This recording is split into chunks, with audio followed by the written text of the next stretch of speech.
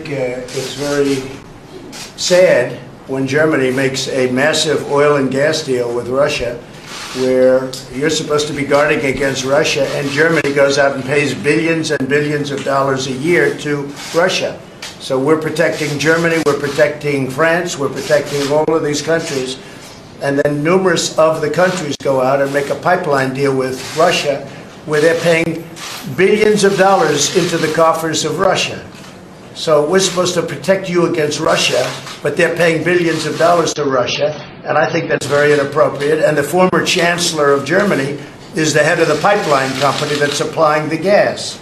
Uh, ultimately, Germany will have almost 70% of their country controlled by Russia with natural gas. So you tell me, is that appropriate? I mean, I've been complaining about this from the time I got in. It should have never been allowed to have happened.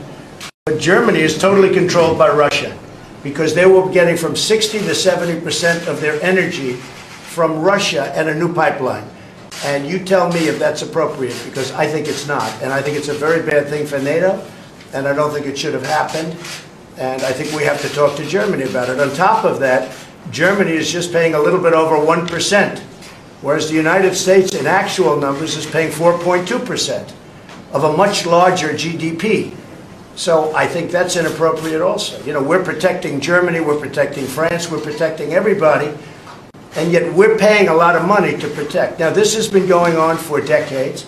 This has been brought up by other presidents, but other presidents never did anything about it because I don't think they understood it or they just didn't want to get involved.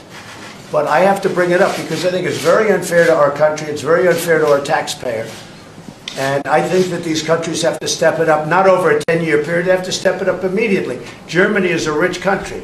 They talk about they're going to increase it a tiny bit by 2030. Well, they could increase it immediately tomorrow and have no problem. I don't think it's fair to the United States. So we're going to have to do something because we're not going to put up with it. We can't put up with it. And